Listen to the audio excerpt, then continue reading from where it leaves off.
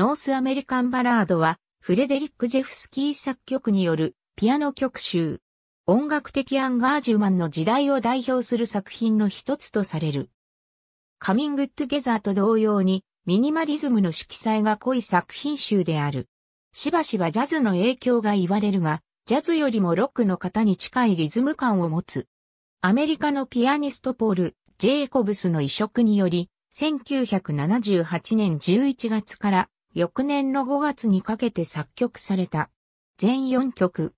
それぞれの曲はアメリカ合衆国で古くから歌われているプロテストソングや労働歌に基づく拡大された変奏曲である。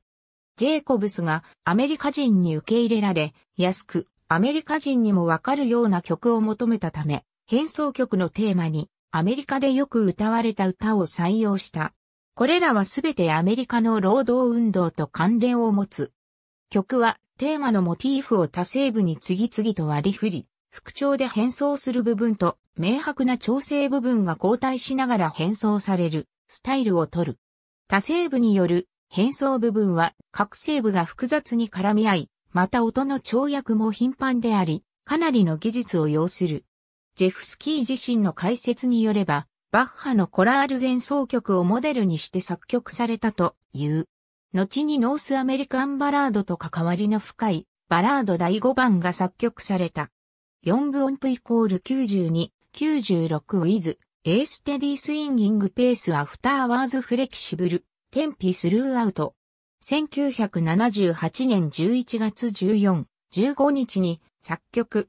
曲の最後の部分に約4分30秒の演奏時間の指示がある。スピリテッド4部音符イコール96、100。1978年12月に作曲。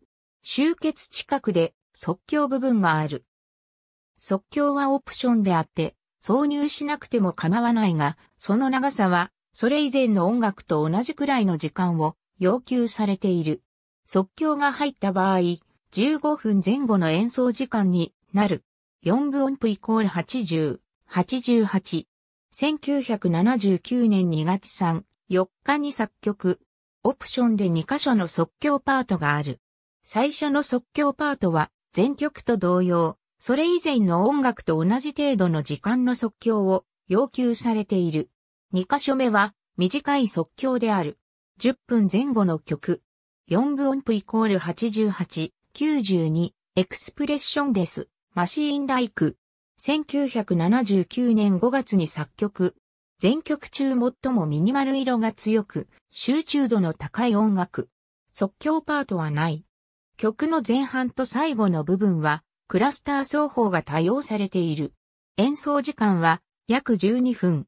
もともとは古いヒムヌスであったが、1932年、ケンタッキー州の炭鉱で起こった激しいストライキに関する歌詞をつけて歌ったモーリー・ジャクソンのバージョンで、労働歌として歌われるようになった。フローレンス・リースが1931年に、ケンタッキー州は、ハーランカウンティで起こった炭鉱での労働争議の際に歌詞をつけて歌って有名になった。旋律の方の起源はよくわかっていない。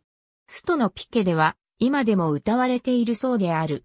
映画、ハーランカウンティ USA の中では90歳のリースがこの曲を歌っている。4曲中最も有名な曲で、ベトナム戦争時代に平和運動の歌として歌われた、We Shall Overcome に次いでよく知られているという。作者不詳。1930年代の歌である。歌詞は、ノースキャロライナの織物工場の労働状況を歌っている。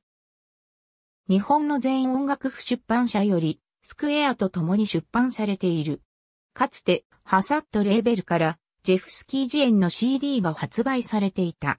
それ以前には、第2曲のみだが、バンガードクラシックスレーベルから、ジェフスキージエンの録音で発売されていた。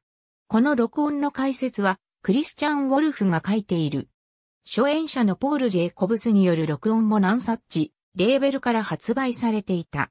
また、第3、4曲がマルカンドレ・アムランによって録音されている。ヴァンガードとハサットの録音を聞き比べると、後者の方がより激しく充実した演奏であり、ジェフスキーの変遷が伺われ興味深い。